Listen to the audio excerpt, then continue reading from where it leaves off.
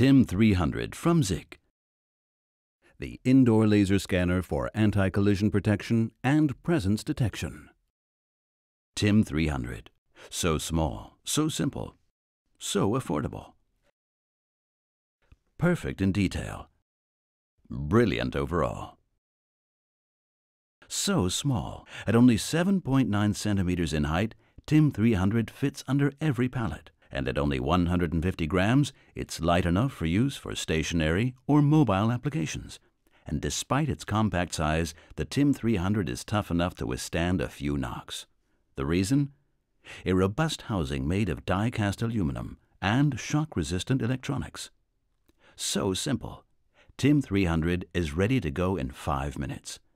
Up to 16 field sets in three different field shapes can be chosen easily and intuitively. This includes rectangles with various dimensions, which can be chosen through the binary combination of the four inputs, and radial fields with a wide range of sizes and angles, or segmented free shapes with corners that can be freely chosen according to your requirements.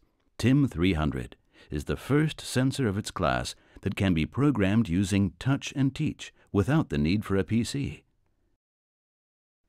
When the Teach push button is pressed, Tim begins to scan its surroundings and then saves the measured field shape.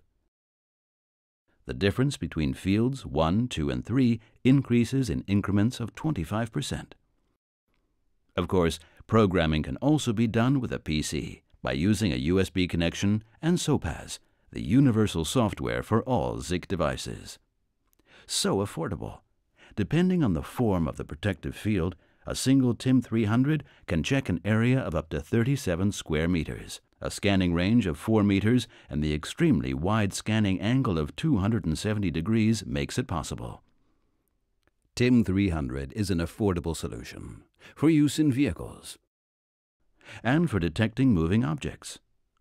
What also saves costs? The low effort required for implementation and the low energy consumption of typically 3 watts. And the most attractive thing about TIM 300? The price.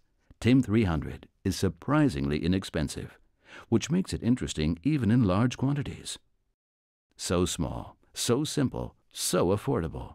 TIM 300 is the new benchmark for area monitoring. TIM 300, perfect in detail, brilliant overall.